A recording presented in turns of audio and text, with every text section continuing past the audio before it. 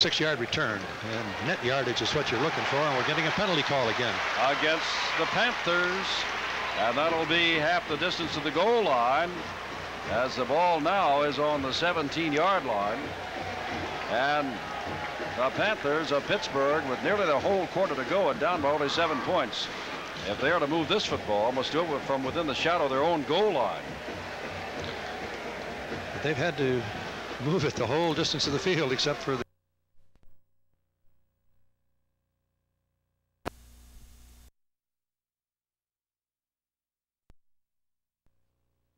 the football.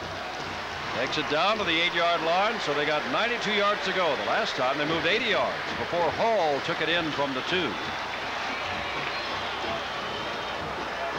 13:33 to go. 29-22 Florida State. Dombrowski wide to the left. Collier, who was hurt a little while ago, is inside him, and Dwight Collins comes out to the right, and now they say time has been called. It's football season again. What can you say? The Panthers did everything wrong after the first five minutes of the first half. The kicking game and the Panthers' own drop football gave the uh, Florida State Seminoles a 23 to 7 lead at the half. But now I look at the scoreboard and it's 29-22. And somebody may be bowing in the direction of Bill Capece with four straight field goals and five altogether. Well, his five field goals uh, break the record here. They'll break the record at a lot of schools. Uh, However, Florida State continues to do a great job offensive ball possession. They had the ball 7 minutes and 55 seconds in the third quarter, even though they made only six points. Pittsburgh had it 7.05 and scored two touchdowns. All right, Dombrowski is wide, wide left. Collier inside him, and Dwight Collins over here on the inside. Marino with outstanding protection. Goes it out to Benji Pryor, his tight end, who gets out to the 15-yard line, maybe the 16, and down he goes there. Tackled there by James Gilbert and Monk Bonasorte. Bonasorte is out of Pittsburgh. I think you've heard the story. He played a lot of football with and against some of these men across the line of scrimmage from him. The Pittsburgh Panthers but found his way down here to Florida State. Marino is 14 of 24, 257 yards and two touchdowns. McMillan carries the football, and McMillan is on his feet past the 30-yard line, and the Panthers, who started on the 8, now find themselves out near the 35-yard line with better field position, down by only a touchdown and a lot of time to go. About 13 minutes. Their offense has moved the ball beautifully throughout the entire game. It's been Stark's kicking and their own turnovers that have kept Florida State in the lead. Now Collier and Collins both go wide left. Joe McCall is in a touchdown maker of not too long ago, number 34, and the ball is lost, and it belongs over.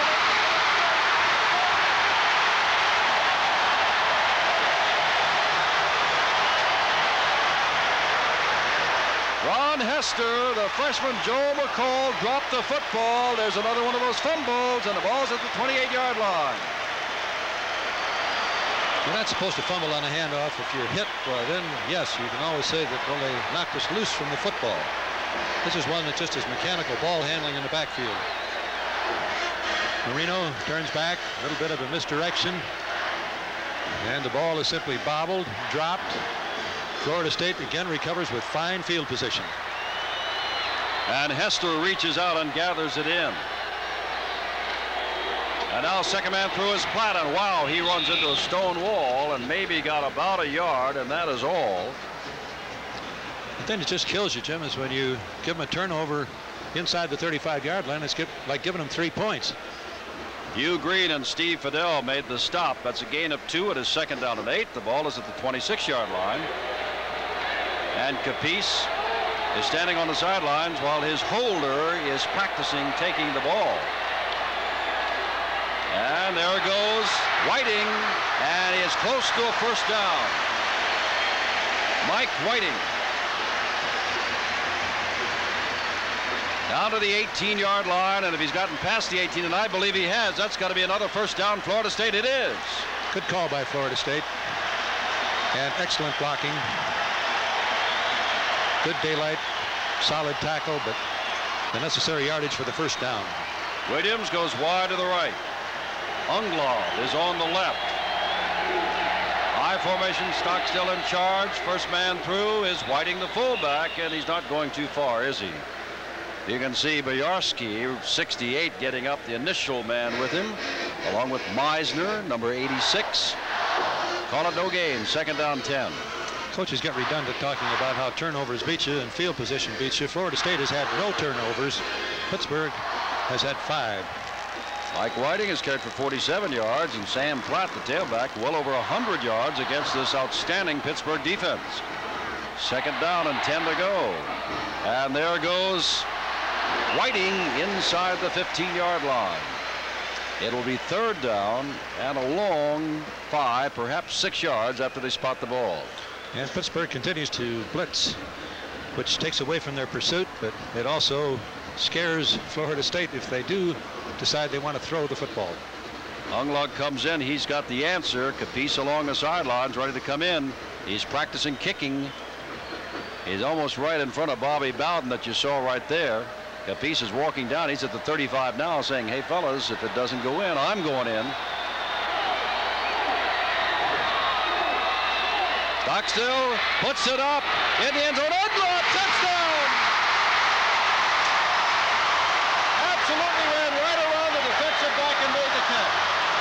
Lynn Thomas is the man he beat. 13-yard field goal, but remember the fumble on the 28 set it up. I mean, 13-yard TD.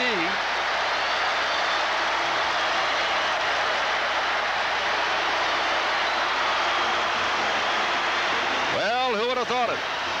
Florida State just comes roaring back. No matter what Pittsburgh does, this ball game is still in the half.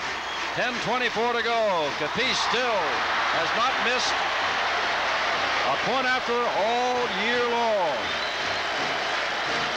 The score now is 36 to 22 with 10 minutes and 24 seconds to go on a 13-yard pass to Unglaub. After recovery, the fumble by McCall at the 28-yard line by Hester.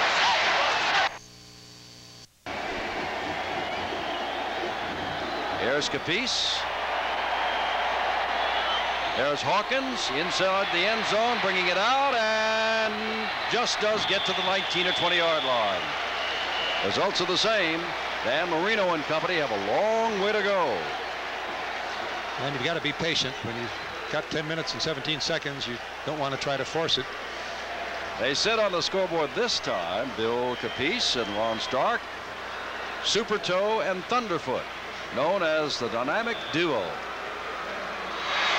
they have been dynamic tonight and apparently all year long. This is the first time Bud and I've seen them, but here comes Pittsburgh. Collier goes wide left. Collins comes to the right. And Marino with that excellent protection. There's the first time they got to him. He got rid of it, and the ball is dropped. Dropped by Dombrowski at the 28-yard line. Simmons was the man coming the nose guard, and that's about as close as you'll see them come all night. I think Simmons got by Emil Boures, a right guard, who slowly picked himself up. Dombrowski jumped too soon for the ball. Had he kept his stride and gone up at the right time, I believe he could have made the catch. Fine move, though, by Marino. Second down 10. This time Collins comes with Benji Pryor wide to the right. They've got two receivers split on the left. Marino back, throws it to the outlet man, and that is McMillan, the fullback, and he is hit inside the 20-yard line. Actually lost a yard on the play. Reggie Herring, number 39, the first man to hit him, along with Bobby Butler, number 21. Excellent pass defense downfield by Florida State. Marino had plenty of time. There was no one open. He had to dump the ball off and completed the pass, but no yardage. Ball is back at the 18-yard line. It is third down and 12 to go.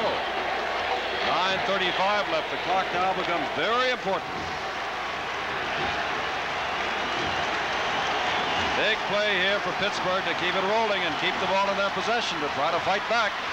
Marino has to throw it quickly. Collins is there. And it's knocked down. Collins was double, maybe triple teamed. I think Gary Henry, number 40, is the man who got his hands on the ball first.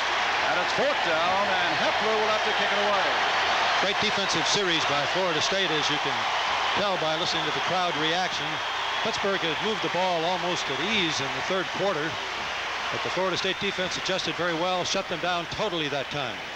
Epler standing inside his own five-yard line. Gary Henry, who was in on that last defensive play, back at the 46-yard line of Florida State.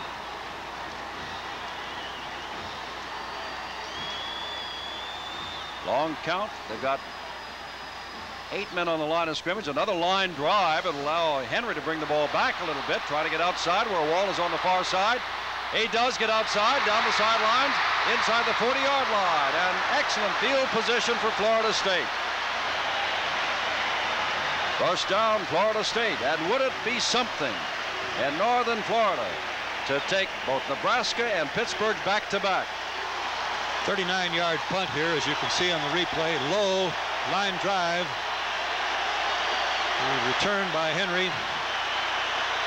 He sets it up well, gets to the sidelines, finds the wall of blockers, picks up 19 yards on the return. So once again, Pittsburgh has made only 20 net yards on the punt. And once again, excellent field position for Florida State from a 38-yard line of Pittsburgh. Knoxville, the fake, the handoff. And Whiting takes it for perhaps a yard. And that is all. Mike Whiting, the fullback out of Largo.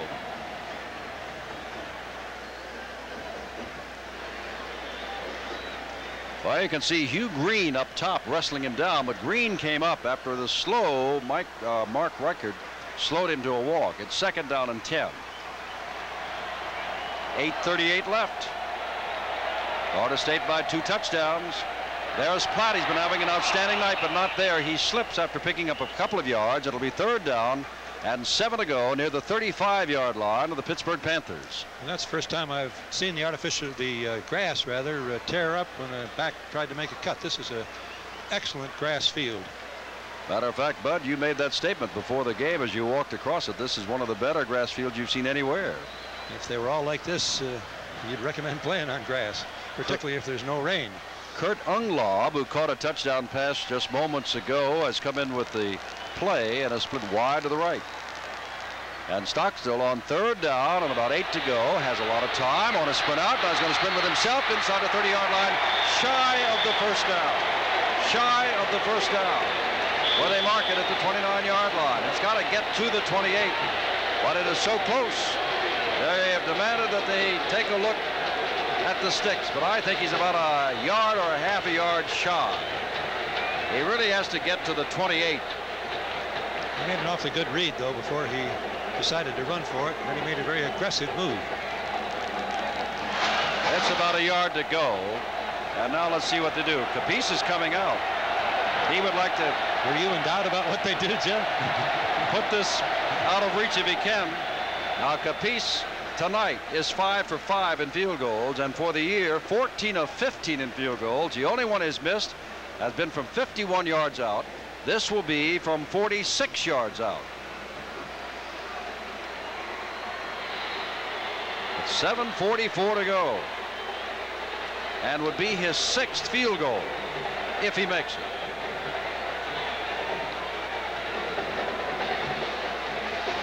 Time is called. They're getting the stick set on the far sideline. Now Paul Schmidt, the referee, says we're ready. From the 46-yard line, this may not make it, and it does not. I'm shocked. 36 to 22. The score remains. Florida State ran some important time off that clock. As we told you that Capece has got the record, but he wanted to increase that record. Before tonight, it was four field goals against South Carolina 10 years ago in one game. Capece, well, way back in the third quarter, made it five, and then tried to make it six. Ball is on the 36-yard line. Collins again, along with Collier, wide left. It is second down and only three to go. And they're running the football, trying to get something going to set up the passing game. And Artrell Hawkins isn't going anywhere as Ron Hester and James Gilbert, numbers 83 and 51, put him down. And now it is third down and about three to go.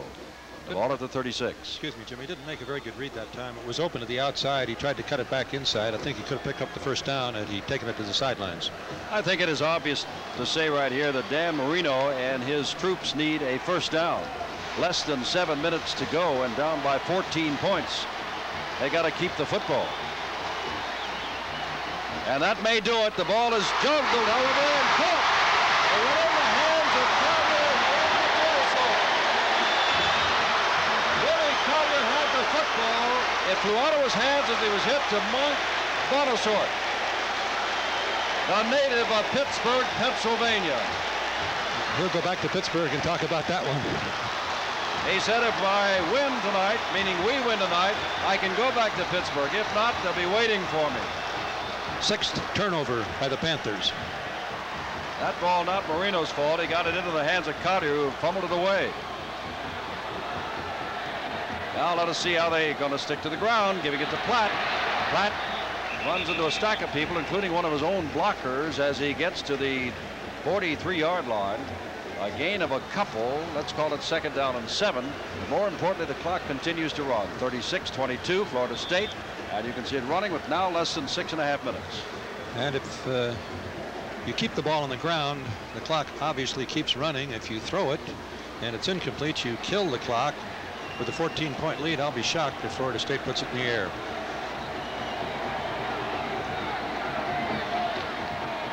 There is Sam Platt with more than 100 yards tonight. Adding some more, still on his feet and close to a first down. It'll be third and short as Platt gets inside the 40-yard line. Trocano is in on the tackle, along with number 29, Dan Short. And now Unglaub comes onto the field. Johnson comes out. Unglaub brings on the play. The wide receivers alternate with plays. On the other side of the line of scrimmage, Marino calls about 60% of his own plays at the line of scrimmage. 36-22, five and a half minutes to go. Stockstill still with the football, running with the football. He's got mobility, and he's dragged down. And guess who did it? Boy, from all the way across the field. Hugh Green, number 99. And they get some affectionate pats from a Florida State staff that figures that they've done a pretty good job on Mr. Green tonight. He's been outstanding, but they've been able to keep him out of too many big plays, with a notable exception of the first play from scrimmage when he hit Stockstill for a loss all the way back to the one-yard line, and that's back in the first moments of the game. That was a very big play there because uh, if Florida State picks up the first down, they could kill enough time on the clock to cinch the victory. Well, let's see if Stark can kick the ball out inside the 20. I mean, he's, he's done everything else. He can kick it everywhere, but let's see if he can kick it out. No, he just kicks it straight away, and it went off the side of his foot, however, I do believe. I don't think he angled it that far. Maybe I'm wrong, but he did a good job. It's out on the 12, and they'll take it. I think you're absolutely right. He shanked it a little bit, but uh, when things are going well, they go well. Here's a fellow that's an outstanding kicker, but for the first time, he didn't have to get a lot of foot into it. 23-yard kick, but at that point in time, getting it inside the 20-yard line, he saved eight yards. 4.44 left. And if it goes by with the scores it is now, 36-22, Florida State will have upset Nebraska at Nebraska and Pittsburgh here, both teams undefeated before they met them. And you better respect the Seminoles. Marino gets the ball away on the far side of the field. The man is triple teamed. That is Dombrowski, I believe, number 82, and that is. 4.36 to go. And there's a flag on the play, and it may be holding. As Pittsburgh walks back, Dombrowski is dumbfounded.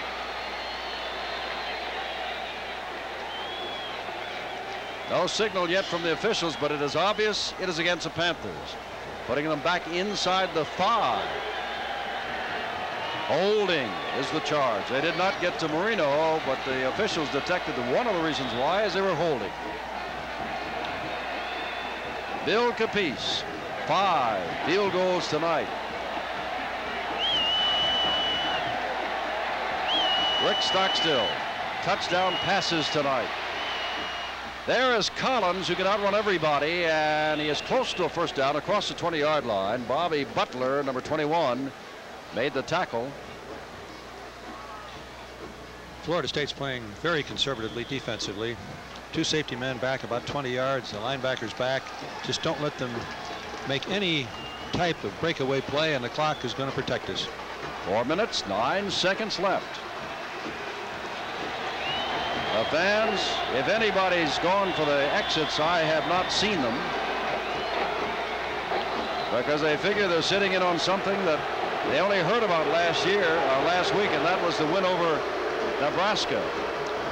Marino's asking for a dry football, and we're getting a little discussion. The referee and he said uh, maybe you should have told me a little bit sooner about it. But uh, okay, we will give you a dry ball, but we'll wind the clock. You got 25 seconds to get it in play. Well, someone said, I think it's Charlie Dressler of football. Statistics are for losers. Marino's got 272 yards, but he changed it right now for a touchdown. They need points. Now here is Benji Pryor up to this side, and there he goes back. Ron Hester, number 83, who was forced into action tonight because Borowski had the appendectomy, has played an outstanding game, including recovering the fumble moments ago that set up yet another score. You really have got to give great credit to the Florida State defense also. They Pittsburgh is very capable of moving the football as Pittsburgh takes a timeout, but Florida State has made them work for everything that they've done, and they have forced the turnovers. 52,894 paid their way in here tonight. A lot of people watching in the Tallahassee area live on television and millions more here on ESPN. And two to go. The ball on the 20-yard line of Pittsburgh. 3.24 left.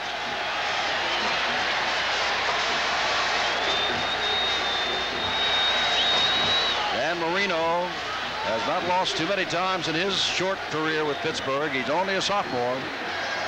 And this is a good Pittsburgh team. Marino still protected, and the ball is not held. Coming out of the backfield was McMillan turning upfield. He might have had the first down, but fumbled the football. He was looking for some place to run and not concentrating on the catch. And out is fourth down, and Marino is staying out on the field. Got to go for it. They've got to with 3.24 left. And if they do not get it, you would think at worst Bill Capece would have field goal number six tonight, unless they just choose to hang on and fall on the football. Also think Florida State's got the game won. Collins comes wide right. Collier goes to the left. The crowd gets up on fourth down. Standing room. Watching the ball be tipped. And it is caught by Dombrowski. And that'll be the first down out across the 35-yard line. And that was a clutch catch to keep Pittsburgh's hopes alive. You wonder how he could make this catch. Uh, they've dropped a few easy balls, and then this is a sensational catch. Ball is batted. Batted balls are usually intercepted. Dombrowski goes high in the air to make the catch. Heath Jones wrestled him down. Here's Marino again, and there's Collier, and that is incomplete at the 46-yard line of Florida State. It is second down with 3.18 left. And now I can see the first vestiges of people who figure our team has won it and are starting to leave Doak Campbell Stadium. I don't think they should be that positive. If Pittsburgh gets one on the board, gets an onside kick, uh, this thing's not over. Uh, Panthers can strike very quickly. But a few folks say, ah, it'll never happen. Don't be so sure. Don't you be so sure. Stick with us. This Marino can throw the football and he gets all the time, gets the ball away, it for Collins, and across the way, Bobby Butler makes the interception, and Marino is standing down inside his own five-yard line, hands on his hips, walking off, very disconsolate. There he is, now at the 10. He realizes that's all she wrote. Seven turnovers by the Panthers. And that is a classic way to lose a football game. Seven turnovers. Plus, don't ever get the ball outside of your own 20-yard line on the exchange except once. Rick Stockstill, you can't say enough about him. He was down 7 nothing, and then brought him back, hitting Hardis Johnson and then Childers. The end around to McKinnon. McKinnon's across the 40-yard line. Dennis McKinnon, the wide receiver around, and Florida State hasn't gone conservative at all. They didn't put it in the air, but they're trying to keep the football and move it, and they got a first down. Jackson is very upset with himself having missed the tackle. that kind of a play runs a lot of seconds even though you don't make anything. You run it all the way across the field one way, you reverse it, bring it back all the way across the field the other way, but Jackson overruns it and they pick up a first down on the play as well as run the time off the clock. On the 41 yard line, first down Florida State. And this is Whiting as a flag goes down and it might be that Pittsburgh was charging offside on that play. If so, that's nifty for Florida State because it would give them first and five, and it would be tragic for Pittsburgh because they will have given them five easy yards. I think Bill, another Ne- down. Bill Neal beat the jump, beat the count.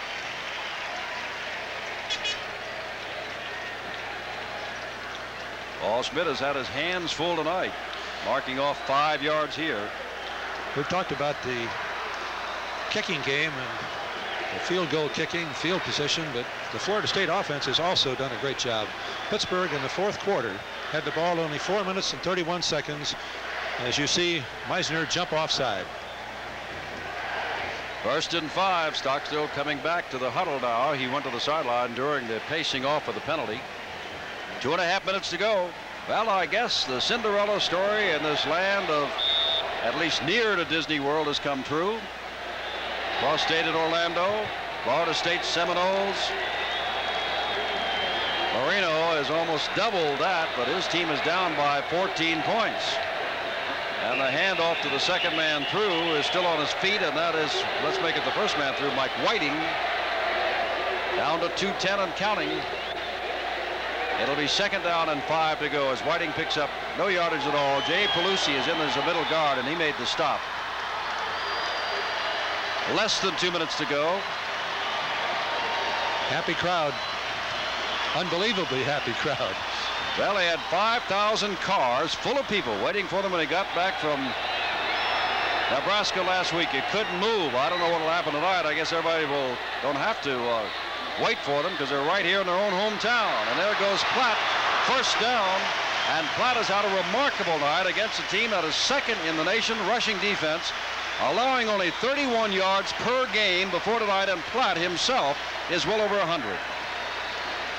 They've taken advantage of the way Pittsburgh has played their defense, and I don't mean that critically of how Pittsburgh has played their defense. Uh, Florida State has not run the ball well. They felt that they had to rush Stockstill, and by rushing, you penetrate, you lose the pursuit.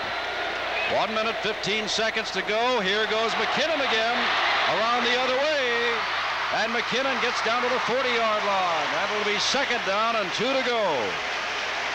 Clock runs, and folks, we are now under one minute. The sweep action here as Stockstill pitches the ball back, and there comes the reverse. Again, the play uses up all kinds of time, and this young man can carry the football. Two Pittsburgh men, he splits them, almost picks up the first down. On the sidelines, Bill Capece has got the whole team saying we're number one, and there's the blitz, and I think they're offside. But Platt's got the football. Flags are down. Time is running out. I've been waiting for him to run the fake reverse, which they did that time. Platt faked it, kept it.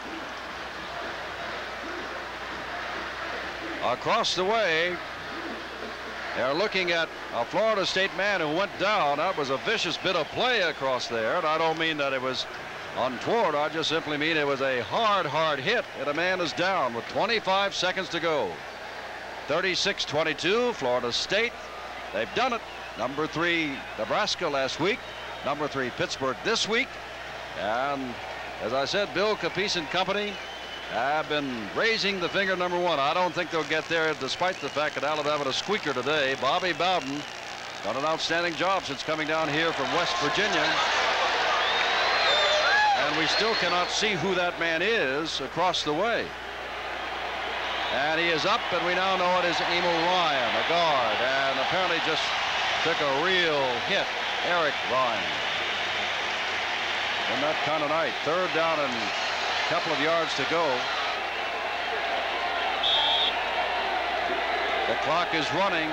23. They don't even have to run a play if they don't want to. 20. 15. Great, great victory for Florida State. A shocker for Pittsburgh, undefeated and third ranked in one of the polls. There's Ricky Williams, and that's going to be all. Six, he'll count it down.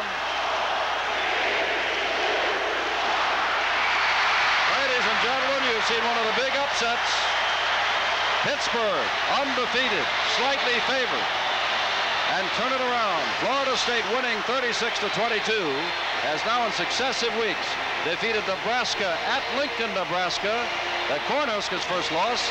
And tonight, the Panthers of Pittsburgh here in Tallahassee. Final score, Florida State 36, with Capece kicking five field goals. Pittsburgh with all those turnovers, 22. Phillies and their families returned to Philadelphia. A crowd of some 4,000 turned out to cheer their heroes at the airport.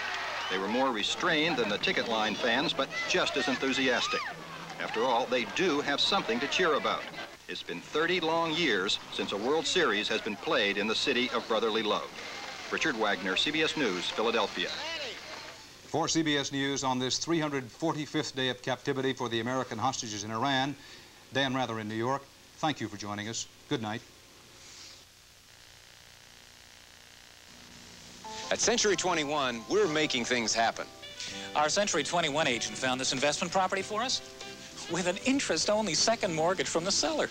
Our Century 21 agent showed us how to finance the sale of our farm ourselves. And we got enough cash to buy a little resort. If you're investing in real estate, call your Century 21 agent today for this booklet, Alternative Financing. At Century 21, we're making things happen. And we'll give our word to you. Sir, have you ever had a Stouffer's French bread pizza? Uh, gee, I, I, guess so. Maybe you've forgotten how good they taste. Italian cheeses, perfectly blended sauce. Oh, that sure looks good. Take your pick, deluxe, uh, sausage and mushroom, pepperoni.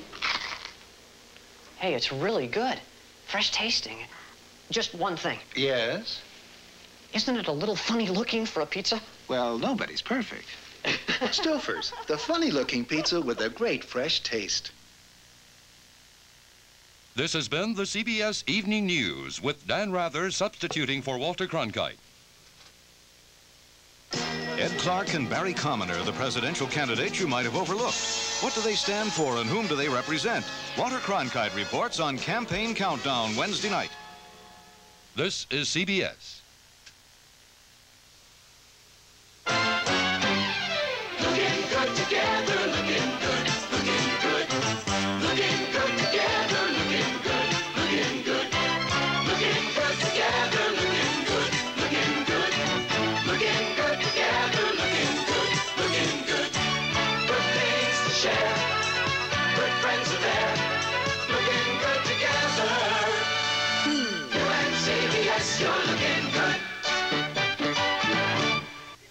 Brown Derby. I've no ken of how they do it, but surely they do do it. I do not know how they do it, but they do it. For great food at a modest price, Brown Derby does it every time. I don't know how they do it, but they do it. The Brown Derby is your place to celebrate before and after the Seminole games. They're proud to support the Seminoles and hope you'll join them for fun. Channel 6 Television, WCTV, Thomasville, Tallahassee.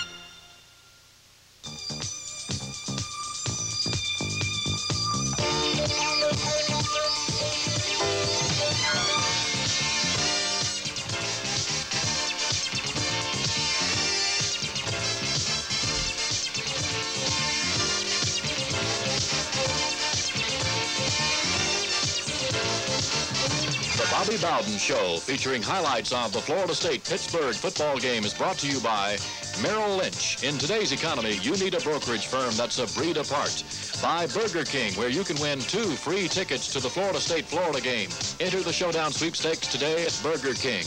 By the members of Dairy Farmers Incorporated, local producers of the natural nutrition, fresh Florida milk. By Lykes Meats, bite the best this season and by the Prudential Insurance Company of America. For life, health, auto, or home insurance, see your Prudential Insurance representative today. Here's Seminole head football coach Bobby Bowden. Those Florida State football players deserve a pat on their back for the accomplishments they have had the past two weeks. Uh, we've never uh, taken on the likes of, of Nebraska there and then Pitt here, both of them nationally ranked. Many people had Pittsburgh picked as the number one team in the nation at the beginning of the season. I know Sports Illustrated had picked them as number one, and several newspapers had picked them the same way. And for these players of ours to, to beat uh, Nebraska, who was number three in the nation, and then the very next week, Pitt moves up to number three in the nation, and we were able to knock them off and knock them off uh, pretty decisively. I am just so proud of our, our football players. I'm proud of our assistant coaches for the game plan they had, and uh, it's just good for Florida State University. We had a funny, uh, not a funny thing, an odd thing happened last week. Paul Piurowski, who was lineman of the week in the nation, uh, also in the Southeast, uh, after our win over Nebraska, uh, just had a great game, had his picture in all every paper in the country, and then the very next day he gets appendicitis, has to have his appendix taken out, and of course we play without him. And I've got to give Ron Hester, uh, Jr. from uh, Umatilla, Florida, a great pat on the back from uh, me and our staff and our teammates for the job he did uh, filling in for Ron. I tell you, I knew we were going to have a good night because we had probably we had one of those old-fashioned pep rallies uh, last Thursday night, a bonfire and everything. And I'll, we'll tell you a little bit more about it. Uh, but let's uh, have this commercial.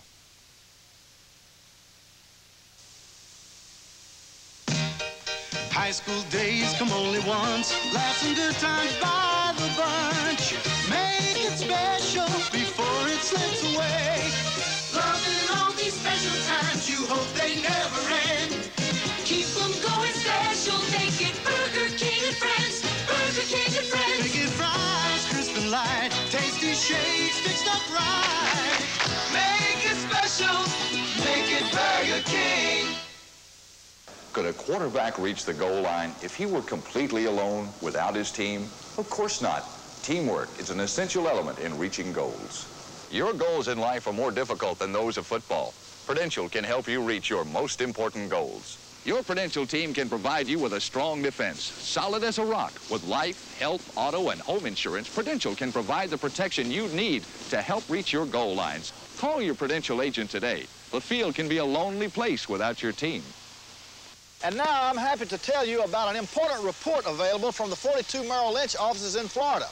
If you'd like to be a better investor, and who wouldn't, get a pen and a piece of paper right now because I'm going to tell you about a special report on stock selection, timing, and techniques that you can get free.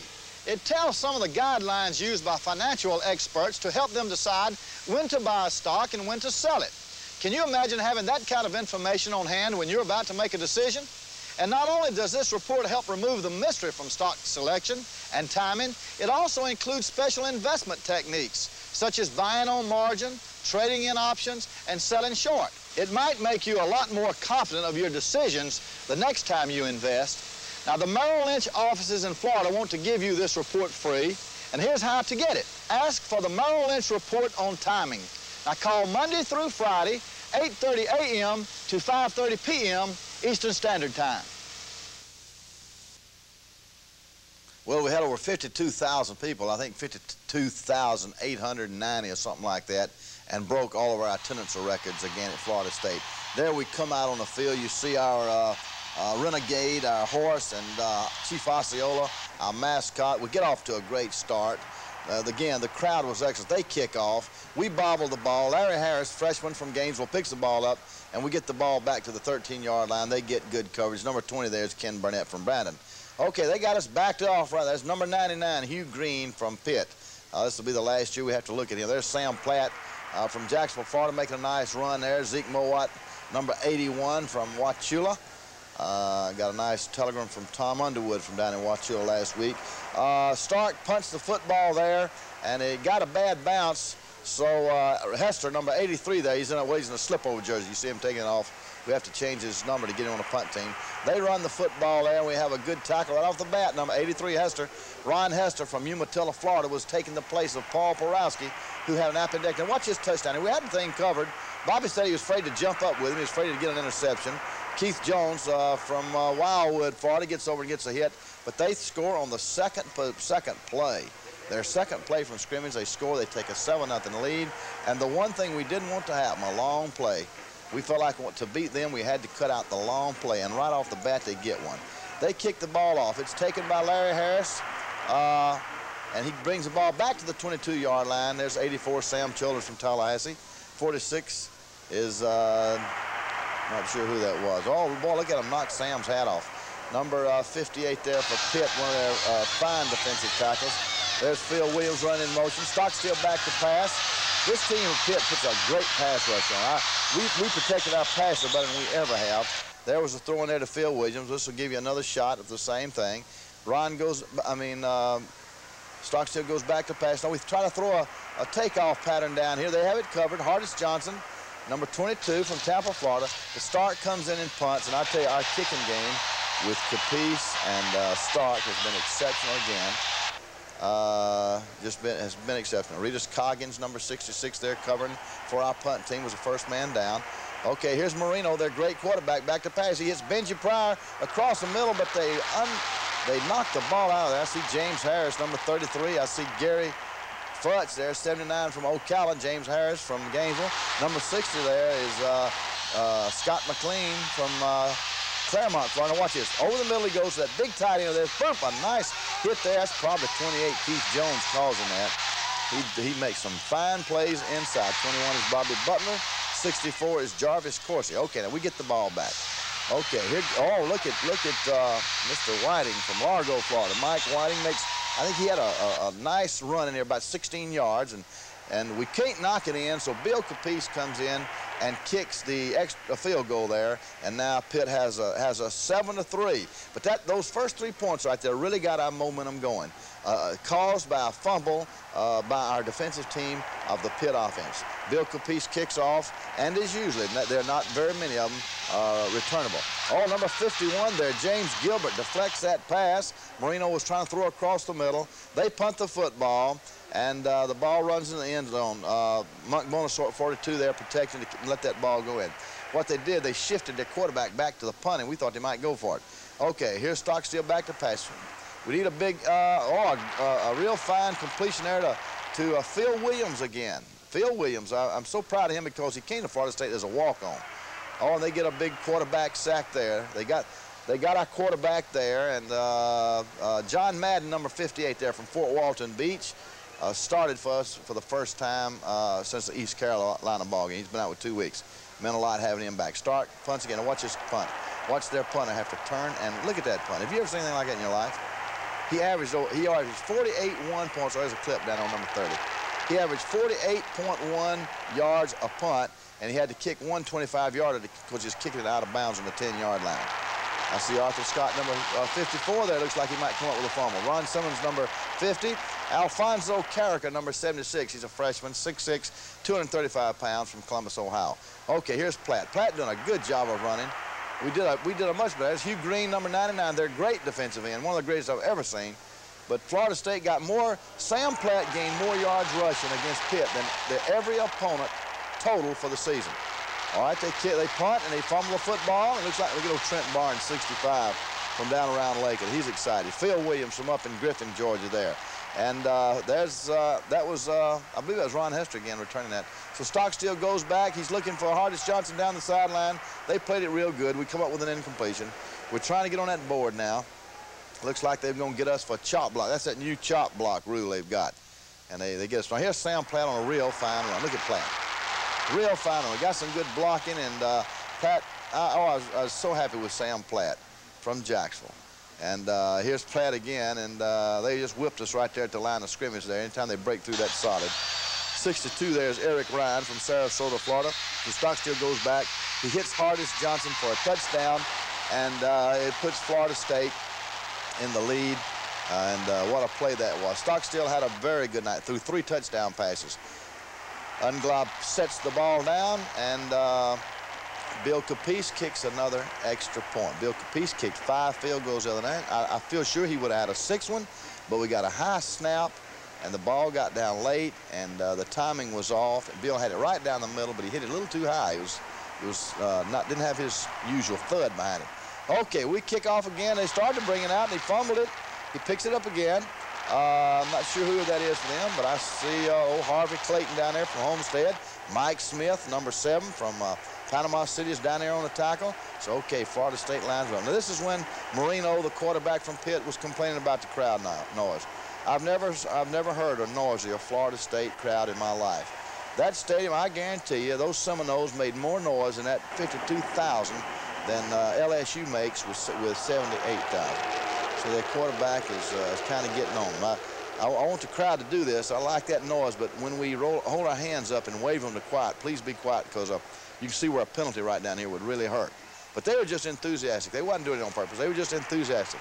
I could tell by the pep rally the other night they were going to be enthusiastic. We had, we had one of those old-fashioned pep rallies, you know, where you had the bonfire and everybody came and uh, they punt the football and old Gary Henry back there from Orlando decides to let it hit because it was short and it wasn't. Uh, and we got good field position. We're on their side of the on their side of the 50. And uh, there's Sam Platt. a look at Sam run. Ball was up at him. Sam didn't quite get in here. I think he came up about a yard short here of the touchdown. That would have been a fantastic touchdown run by Sam Platt against what many think is the number one defense in the nation. Sam Childers from Tallahassee, Florida, uh, catches another touchdown pass from Rick Stockstill. Number six there, you see Dennis McKinnon from Miami, Florida. 99, uh, Rick Voltepetty from Miami, Florida. And uh, then uh, Bill Capece comes in and kicks another extra point. So now Florida State has a 17 to 7 lead. All right, we get the ball back. There's a handoff to, to Platt again. Watch him run. They get Hugh Green, number 99, the All-American in at uh, Pitt. He'll make tackle after tackle after tackle. He was indeed a great football player. But thank goodness our team was better this past week. Okay, Stock's back. He looks, he finds Zeke Mowatt from Wauchula coming across the middle, and Zeke runs for a first down. Zeke Mowatt, to me, is one of the most improved football players on our team from now in spring. Bill Capece comes in and drills another field goal, and it puts Florida State out ahead 20 to 7. Now, we only had about 50 seconds left. Uh, or was 37 seconds, you can tell by that clock there. And they're going to throw an interception, a great interception by Keith Jones right here. Watch it. Keith Jones interception, and Bill Capece comes in and drills a big field. Watch this. A fine job there. Gary Henry and uh, uh, Keith Jones. Bobby Butler blocking us. Picks up another block by uh, Hester, uh, Hester from Umatilla. And now we got just a couple of seconds on the clock. Reggie Herring comes over and calls a timeout. Bill Capece comes in, and Florida State takes a 23 uh, to 7 halftime lead. And uh, I'll be back with a second half action right after this timeout.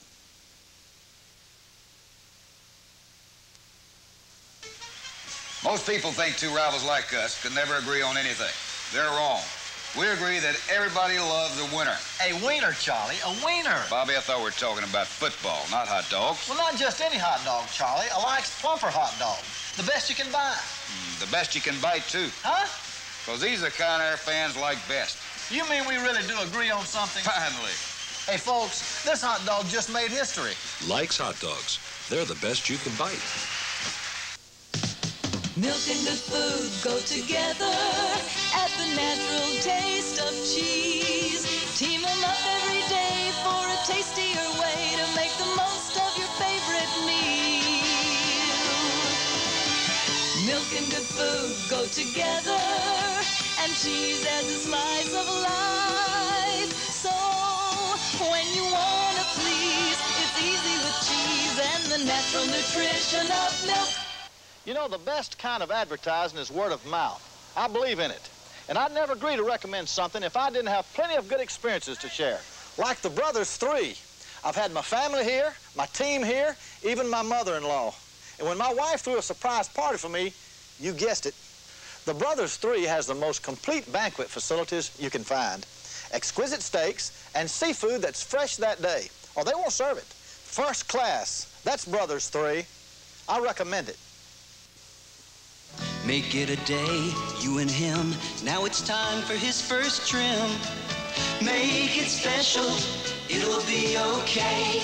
A little snip, a little clip. Now there it's not so bad. You're ready for a special treat at Burger King with Dad. Juicy burgers just his size. Feeling special with a shake and fries. Make it special, make it Burger King. You know, homecoming at Florida State is scheduled a little earlier this year, October the 17th and the 18th. Now, here's a very special lady, my wife Ann, to tell you about the homecoming events that you won't want to miss. This year, be there for all the great homecoming events at Florida State the weekend of October 17th and 18th. Our first homecoming queen will be the Grand Marshal of the Friday afternoon parade. Then there's the dinner dance with some fine swing music by Charlie Spivak and his orchestra. The powwow in Doak Campbell Stadium Friday night features the Little River Band and the Dirt Band. The alumni marching chiefs get together to rehearse for their musical pregame show, and the alumni cheerleaders return to boost our spirits even higher. Grads made good are honored at the Saturday breakfast, and everybody gathers for good eating at the fish fry before Saturday Night Fever takes hold. Bob Urich, a Florida State graduate and the star of TV's Vegas, is our very special guest. Yes, homecoming at Florida State is more than just a great football game. Call the alumni office early to get your tickets for all the events and bring the whole family. See you at homecoming. You know, this Pitt football team came into Tallahassee with, with one of the best defensive teams. I thought they were the best defensive we've played against yet, including University of Miami and the University of Nebraska. Sam Platt gained more yards against uh, Pitt than all of the total yards gained by the four previous opponents. Now let's look at this second half. They come in here and run the football. You see number Reggie Herring, number 39, make a real fine play there. Uh, Ron Hester right on his heels there. And uh, now Marino's back to pass. Watch this. Another, another touchdown by Marino there.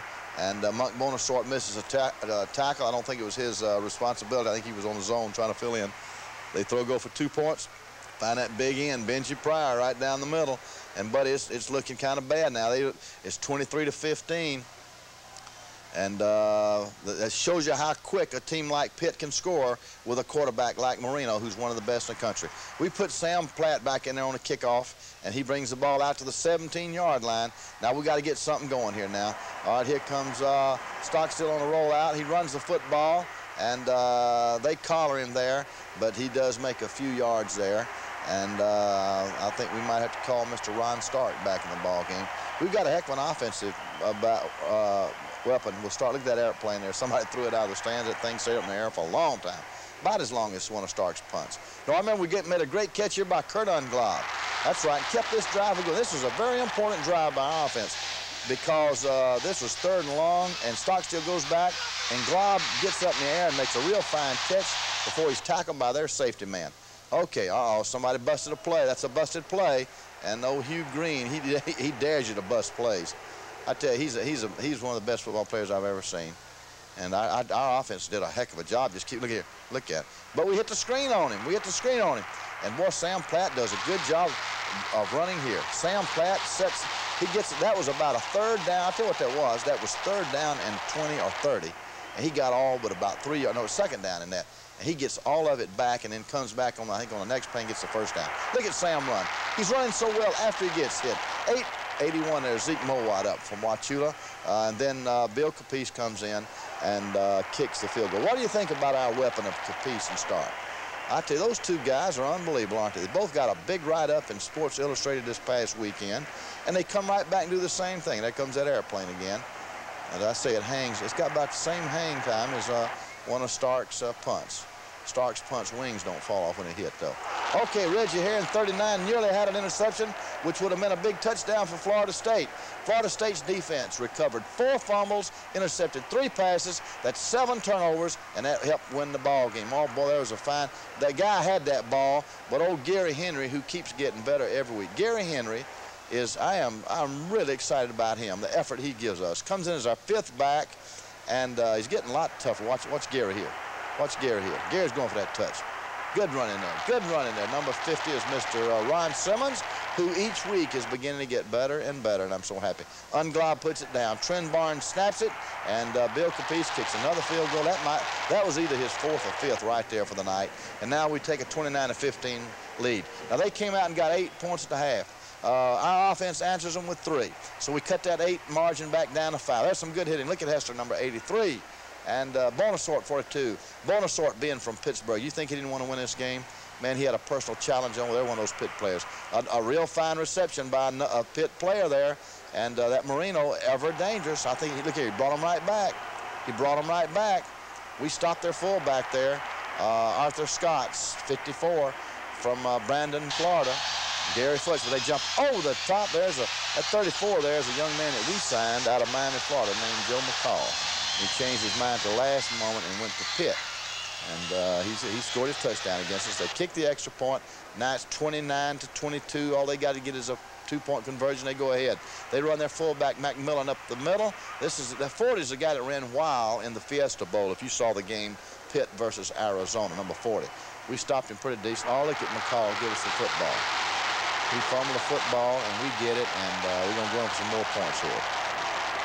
So, boy, what a, what a help that is. Oh, uh, again, I think Simmons played better. Reggie Herring's a guy I like to pet on the back, though, coming in and playing for uh, Piurowski. Watch this touchdown pass, and that's the third touchdown pass that uh, Rick Stockstill threw. Rick Stockstill is very effective. Rick's dad was down for the ball game, and and Rick's granddad was down from the for the ball game, and gosh, it was just good to see them. What a fine family they've got. And there's our uh, our fine mascot and our horse Renegade, and what a Bill Durham and uh, Bill Smith and and uh, the, the. They've done a great job of getting that mascot going for us. Okay, we kick off again. Another fine kickoff by Florida State. And there's that number 46. Now, that's Mike Rodrigue from Tallahassee, Florida. I was trying to figure out who that was. Mike Rodrigue, who was a walk-on at Florida State, is now on scholarship. And uh, here's Gary Henry on a, on a punt return, and he takes it down the sideline, and they make a real fine tackle there. But, buddy, he did a good job bringing that thing back.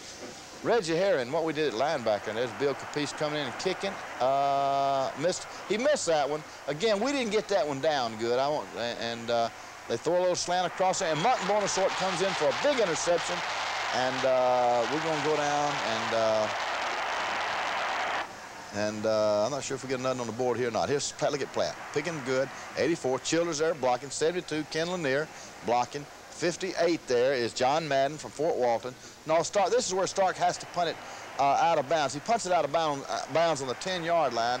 That's Ricky Williams down there covering. And 65 is Trenton Barnes and Retus Coggins from Chipley, Florida, all down recovering on that punt. But uh, Stark had to kick that thing out of bounds a 25-yarder. If it hadn't for that, he'd have averaged over 50 yards a kick. We had 52,894 people there. Marino's back to pass. Looks like Simmons finally got to him. Bobby Butler on a real big interception, and that's their last possession. Now Florida State uh, starts the last drive of the day. There's a handoff to Ricky Williams, number 44, and Florida State takes a great 36 to 22 uh, win. And it was, a, it was a big one because, as I say, Pitt was nationally ranked coming in here. Now, we'll be back, and uh, uh, Gene Deckerhoff will tell you about next week's opponent, Boston College, after this message.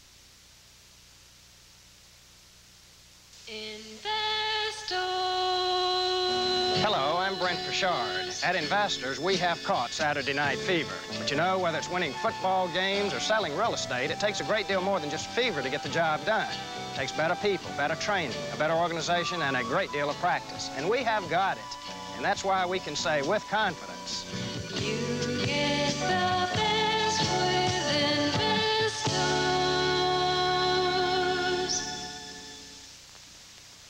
Most people think Michelin makes a great radial tire.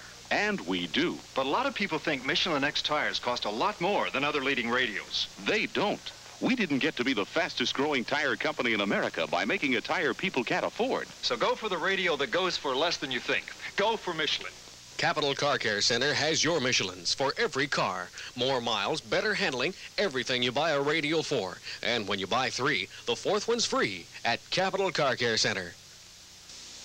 Could a quarterback reach the goal line if he were completely alone without his team? Of course not. Teamwork is an essential element in reaching goals. Your goals in life are more difficult than those of football.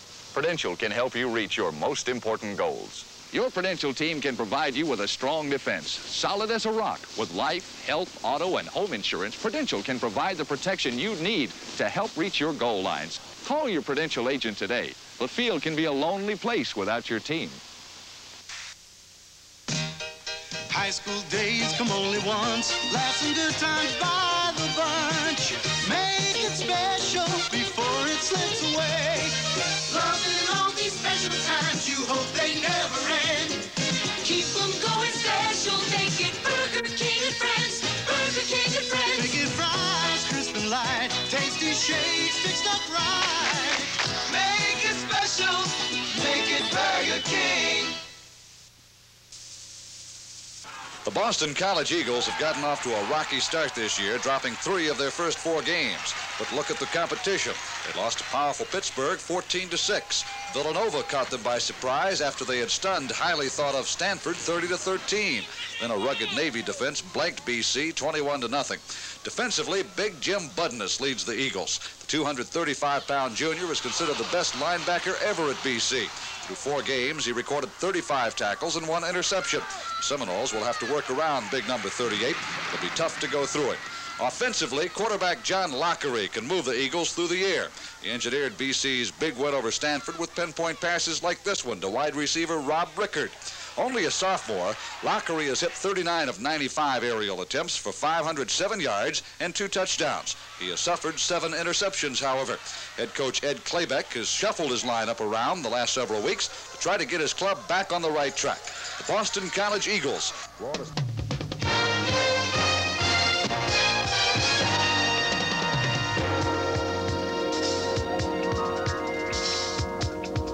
27 Action News with Marianne Laughlin and Jerry Brown.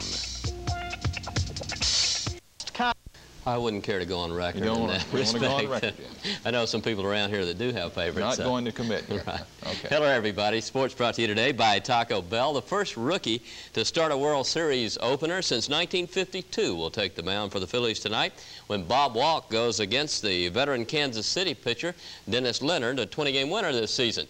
Dick Schaap takes a closer look at the key players in the 1980 World Series. On the brink of the 1980 World Series, the big men of the Kansas City Royals and the Philadelphia Phillies offensively are the two third basemen.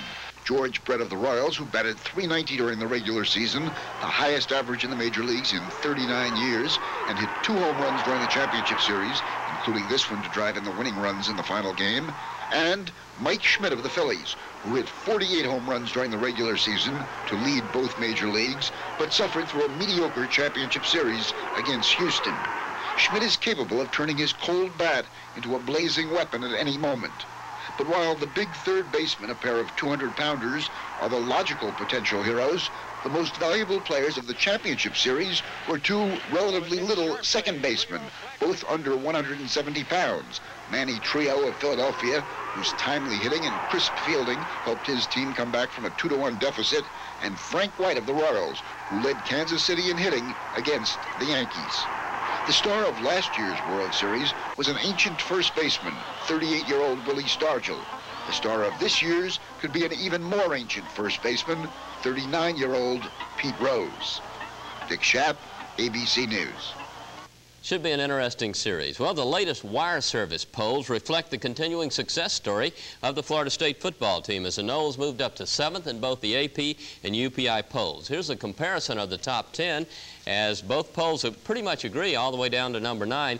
Alabama's Crimson Tide, number 1. You'll see them at 3.30 on Saturday on Channel 27 against Tennessee. Southern Cal second. Texas is third and UCLA hanging in there number four, and Notre Dame rounding out the top five as complete agreement between the two polls. And in number six spot, Georgia on both polls. FSU holds number seven in both. North Carolina eighth. AP says uh, Ohio State is better than Nebraska, but UPI disagrees. They picked Nebraska ninth and the Ohio State Buckeyes in 10th position. Well, coming up on sports, a look at the Florida A&M Jackson State game.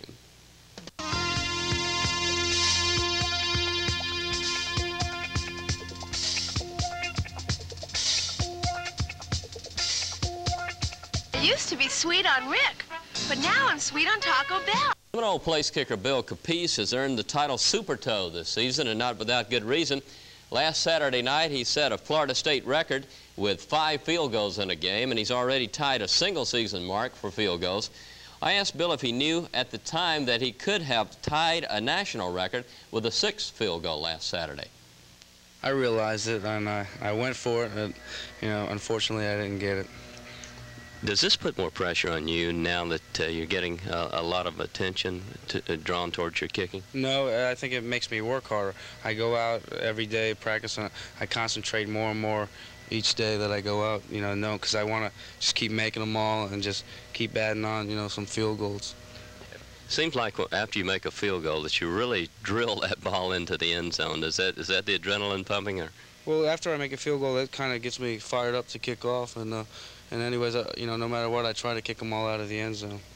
You had to have a lot of satisfaction with those kicks at LSU, the kicks at Nebraska, but with this hometown crowd, uh, is there just a special feeling when you kick a field goal here? Oh, it sure is. Anything you do in the stadium, you know, makes you feel good because it is home, and you like to perform your best in front of your home crowd. And yes, it, it did make me happy. Must be nice to know if you get across the 50, you got a shot at some points.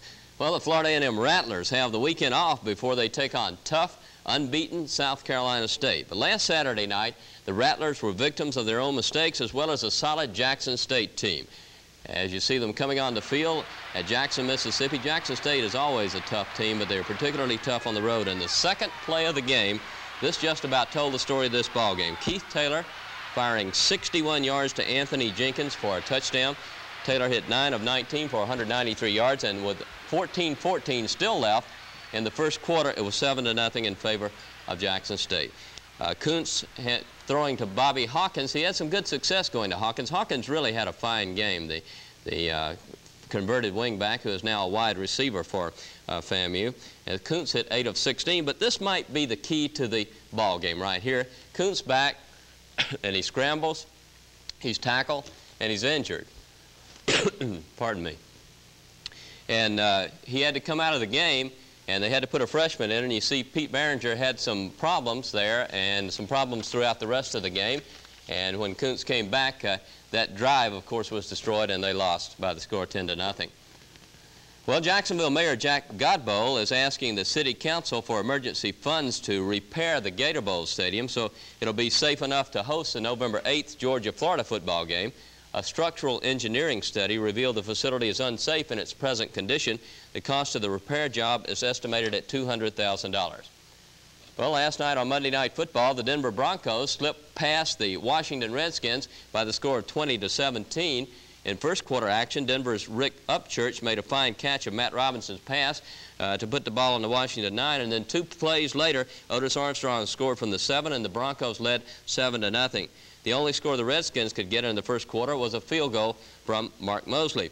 Then, late in the second quarter, Denver's Fred Steinfort stunned the Redskins with a 57-yard field goal, and that made it 10 to 3 at the half.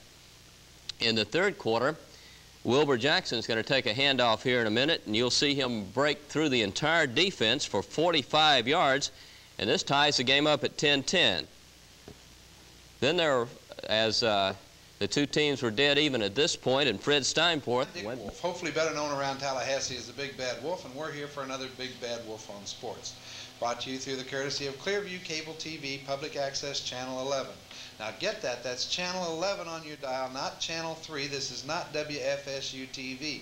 So all you people out there that keep telling me you missed my show because you tuned in Channel 3, it's your own fault. It's Channel 11. Now, let's get on with the show. By the way, our engineer producer is Richard Davis doing another fine job. My guest today is one of the bigger Seminoles on the football team. Uh, I might say he's big in the news. He's probably the best place kicker in the entire United States as far as the college level goes right now.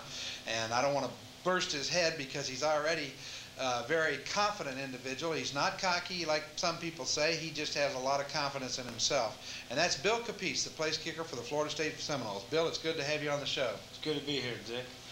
We're going to talk about uh, the Florida State Seminoles, of course, and about yourself and about your, your kicking expertise. But first off, let's give the people a little background. Where were you born?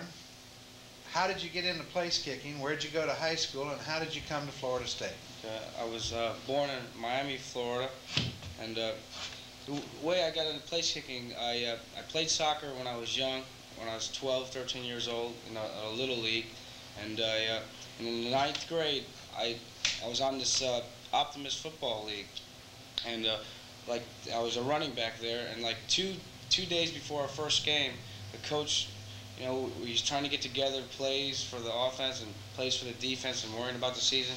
You know, he forgot about a, a, that he needed a kicker. So, uh, coach, you know, he got all nervous two days before the game. He goes, "Hey, I forgot. You know, who, who's gonna kick? Who can kick around here?" And so about ten of us raised our hand, and uh, I never kicked a football in my life, but uh, you know, I just raised my hand because I thought I could do it. And we had tryouts, the ten of us, and, and I, I happened to be the best at that time. You know, I wasn't real good at it because it was my first time, but I was the best out of all, all those other guys. And uh, I kicked then. I was kicking 35-yard field goals when I was 13 years old, and then I, I just then I went to high school. My sophomore year in high school, I played JV ball. I kicked there, and I I kicked pretty well, and then I just continued in my junior and senior year. Let me ask you something then. I guess the soccer is the way you got the sidewinder style then, is from kicking a soccer ball side-footed. I believe so. I, I, I feel that the soccer gave me the fundamentals of, of how to kick soccer style, and uh, I just applied it to a football, kicking a football, and it's worked out so far for me. All right, now let me ask you something. A lot of people say, well, how can a guy so small kick the ball so far? But if you think back to all the great sidewinder style kickers in the made in the pros, the majority of them, and, and even the great sidewinders we've had here at Florida State, people like Frank Fontes and some of those, they all were small people. Uh, what is it about the sidewinder style? I i is it more muscle that's in the leg than say the straight-on style, or is it the way you hit the ball? What what do you attribute to the fact that you get your kickoffs generally five to ten yards deep in the end zone almost every time? Is what is it? Is it a super powerful leg, or is it just the the fundamentals? Well, so- soccer style, you don't really have to be a big person. You, you have to be a pretty good athlete, and and it's you use more of your leg than a straight-on kicker. And uh, I feel the reason why I, I get great distance on the ball is because well, I've always you know done other sports when I was young. I was a, a track runner. I was a running back, and I have I have pretty good speed, and uh, I I feel strength in my leg and, and speed has helped me to get good distance on the ball. Now you played for a school in Hollywood, uh, Hollywood Chaminade, which is a very large private, predominantly Catholic institution, right? Yes, sir. Who was your high school coach? Vince Sapone. Vince Sapone. Now he's been there for many years, if I'm not mistaken, in, in that area. Uh-huh. Uh, I think was he at South Broward at one time before he got over to Chaminade, or is he was he an assistant at Chaminade? I know the name because I'm from that area myself, but Uh, I no, I I think he's been with Chaminade, you know, since on, for quite a while. yes, for a long time. All right, now uh, you say, how did you happen to come to Florida State? In other words, uh, where did you first? Uh, were you contacted by FSU, or did you contact them, or who was this, the the coach that worked with you and got you to sign with FSU? Okay, my uh, coach that recruited myself was uh, Coach George Henshaw, the you know the offensive coordinator, and uh, he he come down. He, he was like the way I kicked, and uh, I guess FSU did too. So he was recruiting me and telling me about Florida State, and I, I come up to visit, and I had I was thinking about other schools at the time also, but I, I just liked what, what was at Florida State, and uh, I thought I had a good opportunity to play football in my first year, and that's what I was looking for, and. Uh, I, I like the coaches there. I like the people that I met. I like the surroundings, and everything just looked really, really good at the time, and it still does. And that's why I chose Florida State.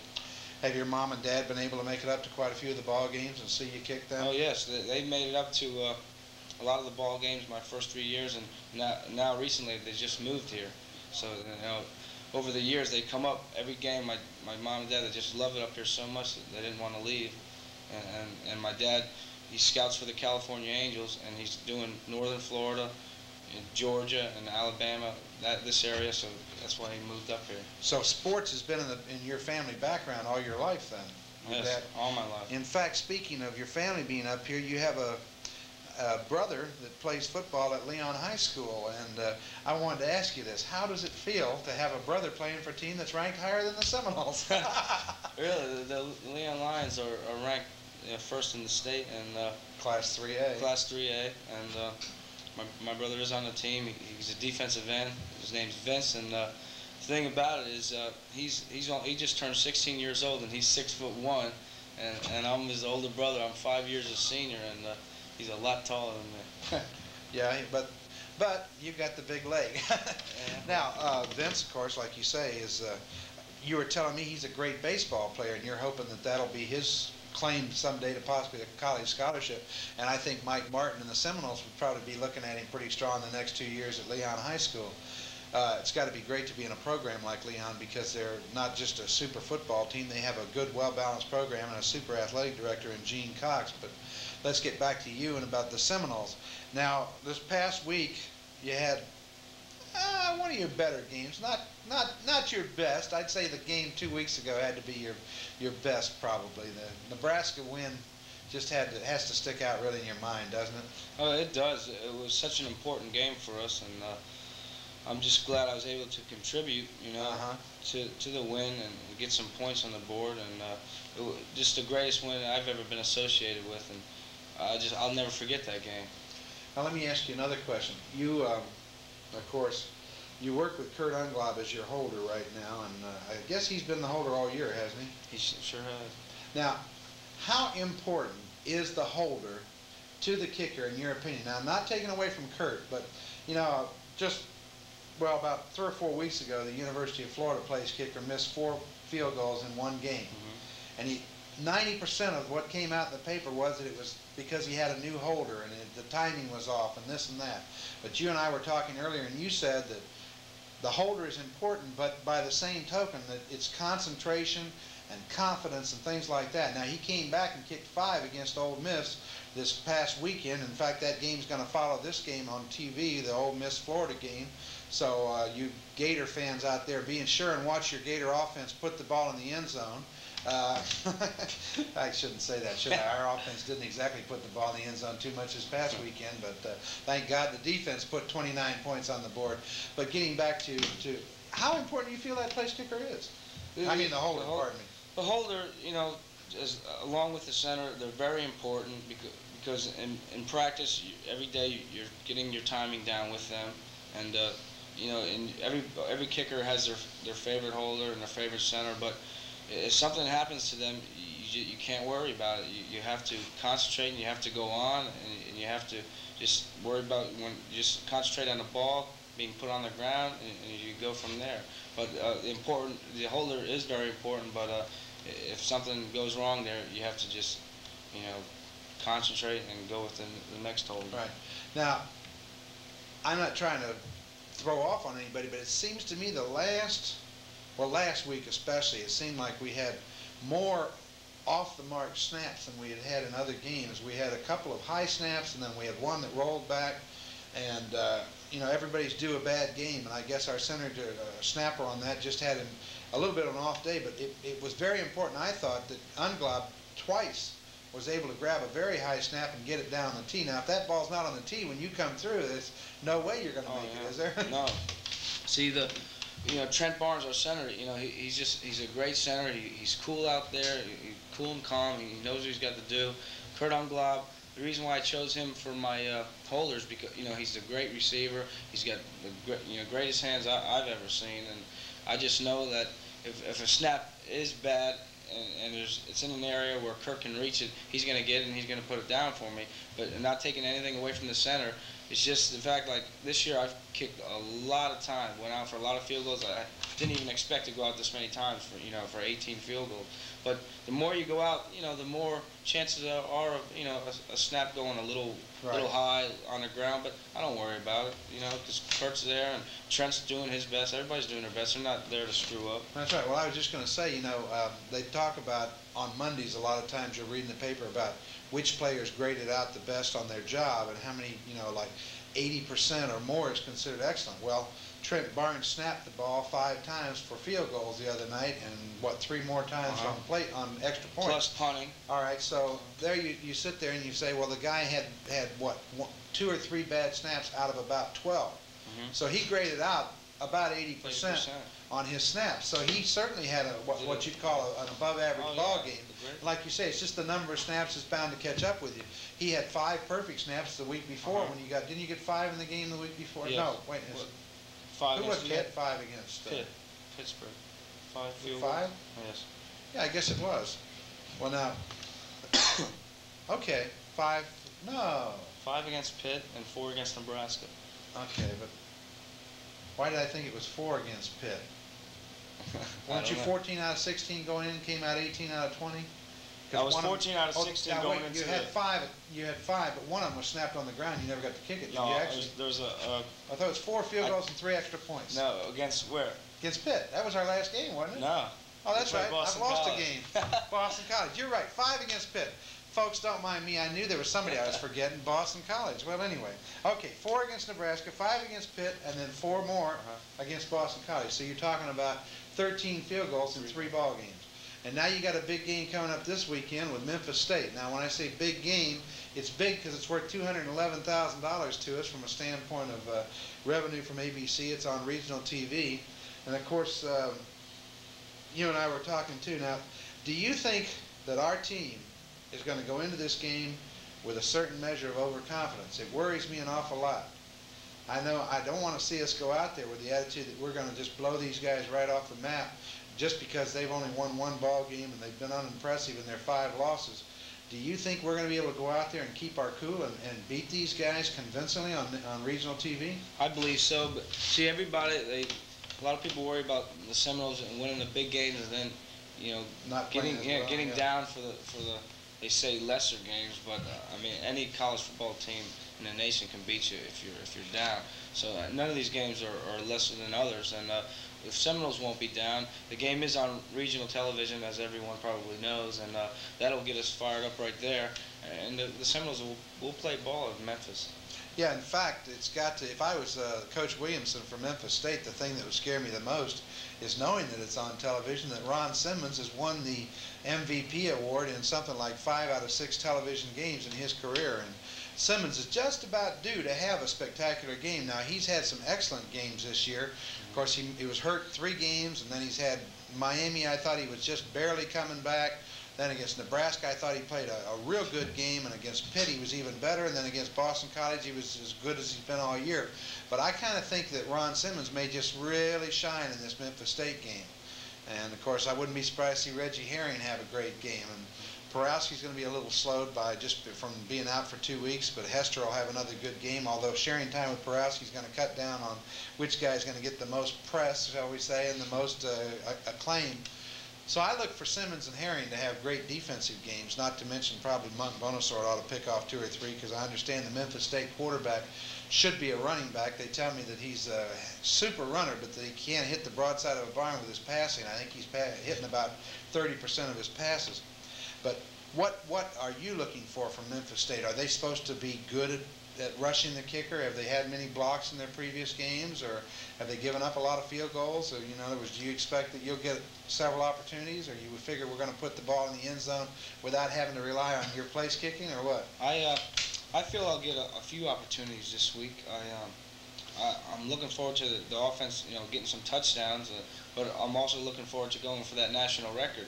You know, I'm, I'm chasing Matt Bahr's record right now. I have, I have four games to, to get it and surpass it, and I want to do that. So I hope each game I, I at least get a, a couple of tries. All right, now you, speaking of records, you're 18 out of 20 right now. The national record is 22. Now, if, and I think it's rather logical to assume we will get a bowl bid this year, bowl games count in that record, do they not? I believe. I don't. I, I don't believe so. I think they, they take it. I think Bahr, a couple of his 22 came in the Penn State, uh, one of the bowl Really? games that Penn State was in, and I think that I think that whether it's an 11 or 12 game season, I do believe it counts as far as what's considered a regular Mhm. season. Now, the only thing that might affect that is the fact that if you play in a New Year's Day bowl, it might be considered the following year. I don't know, Mm-hmm. but I do think in a in a collegiate season, I think that it, the bowl games count. We'll have to do some research on that because that would make a difference. Sure will. But I don't think we really have to worry. With with four games left, I would say that your chances of getting four field goals are excellent because you're averaging. We've played what six, seven games now, and you've got 18 field goals, so your average is better than two a game. So if you just get half your average and get one a game, you'll tie the record. If you get one more than half, you'll break the record. So I don't think we have to worry about that.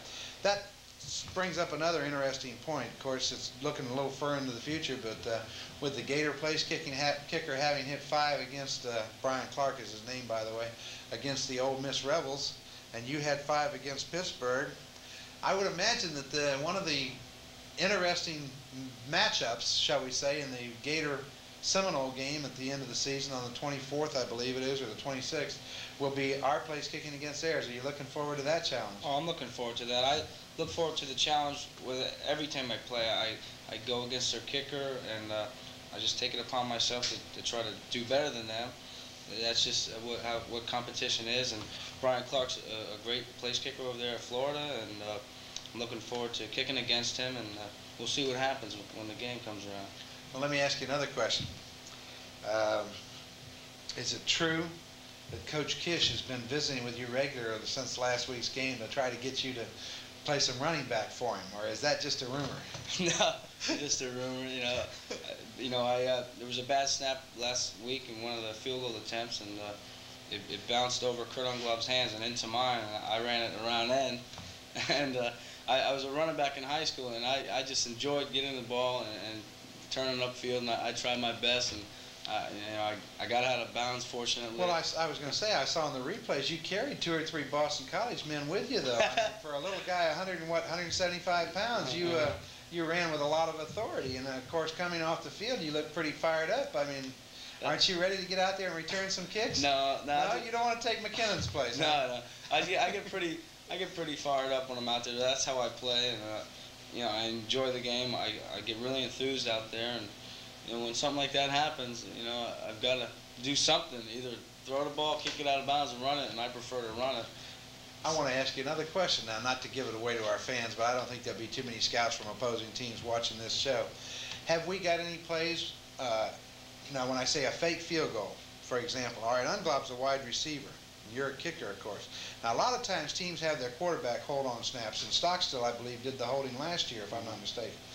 Uh, is there a play where Kurt will come up and throw the ball, or is there a play where you'll throw the ball, for example, or, or are we pretty much uh, just sticking to if you, you you just I guess if the ball's a bad snap, your your option is like you say either run it or throw it. Do you have an out, a safety outlet, somebody that goes out on a, for a pass? Well, or what? Okay, well, you know, I'd probably be lying if I, I said that we didn't have, you know, fake field goal play. Every team does. But don't give it away. No, I mean we're, uh, you know, we're doing well. We're hitting the field goals, and w- right now we don't need to, to fake it. Maybe we would, but Yeah. it, you know, usually what we have is uh, if if a snap is messed up, like the other night, and uh, you know if it gets bobbled around back there, Kurt and I are supposed to yell fire.